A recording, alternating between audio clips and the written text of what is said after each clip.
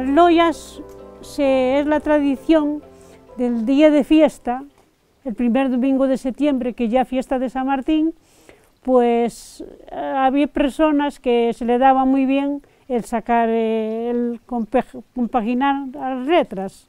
Y entonces, pues, eso se le llamaba una loya, como una poesía.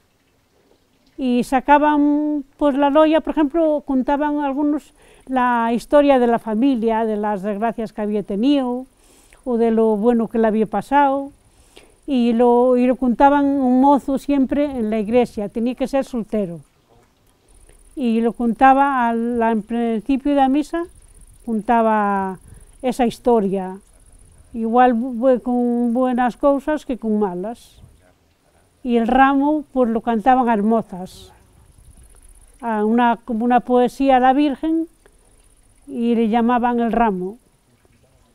Bueno, hasta Lanqueiras era típico de carnaval y se vestían hombres y hombres, se vestían hombres de disfrazados de vacas y otros de cernadeiros.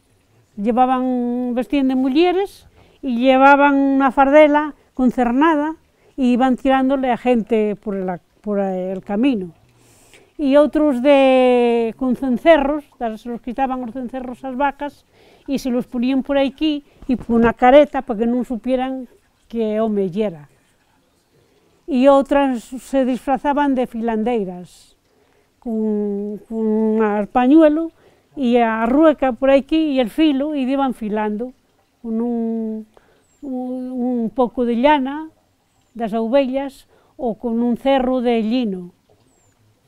E iban por todas as casas, por todo o pueblo, e iban cantando las mozas, los novios as novias, e os que, que pretendían a unha moza, pues le iban, por ejemplo, a, a meu marido, le decían, le dijeron una vez uno, que le decían, casaremos a Agustín, no, con una amiga mía, que ya, se murió a pobrecita, y le, se la adjudicaron de novia, y le decían, casaremos a, Agustín, a Angelita, que es una chica muy santa, y de novio le daremos a Agustín de Ticre Santa.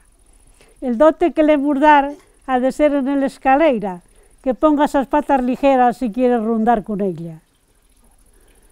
Y a una prima mía le decían, esta casa sí que es casa, que tiene buenas paredes, a muller que vive dentro es a flor de las mulleres e iban por todo o pueblo cantándole ás mozas, as que pretendían ou as que tenían ya novias fijas.